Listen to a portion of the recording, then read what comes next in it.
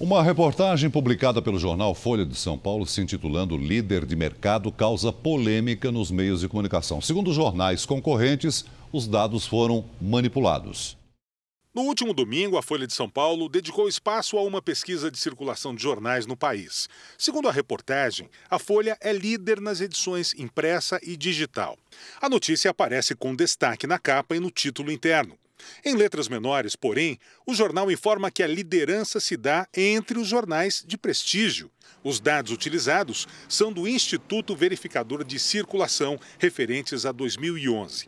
A categoria Jornais de Prestígio não existe para o IVC. Foi inventada pela Folha para deturpar a principal informação.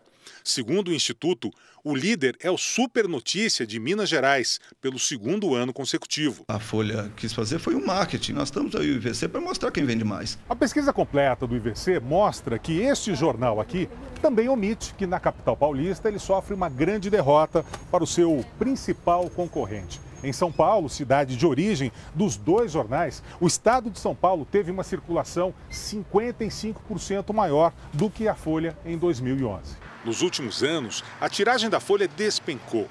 Há 10 anos, o jornal tinha tiragem diária de 350 mil exemplares. No levantamento divulgado agora, o número cai para 297 mil, mesmo com a soma de assinaturas digitais, uma queda de 15% em uma década. A manipulação da Folha repercutiu na internet. Este site especializado em comunicação diz que o jornal da família Frias camufla a pesquisa ao dizer que é o jornal mais vendido do país.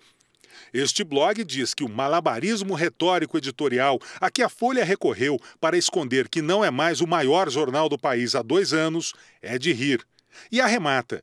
A Folha apenas pode dizer que ainda é o jornal mais vendido em sua categoria apesar de já ter perdido a liderança na capital para o Estadão e está encolhendo ano após ano. Para o jornalista e escritor Alberto Dines, essa estratégia da Folha serve apenas para destacar o que interessa para ela mesma. Virou uma prática você, você falar bem do, do, do, seu produto e, e, e, valorizando aquilo que você quer valorizar. O que me incomoda na, nos jornalões é, é justamente que eles estão procurando se popularizar indevidamente.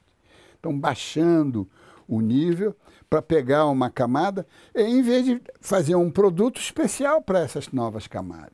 Para concorrentes, leitores e mercado publicitário, notícias manipuladas como essa, mais uma vez colocam à prova o prestígio a que a Folha se refere.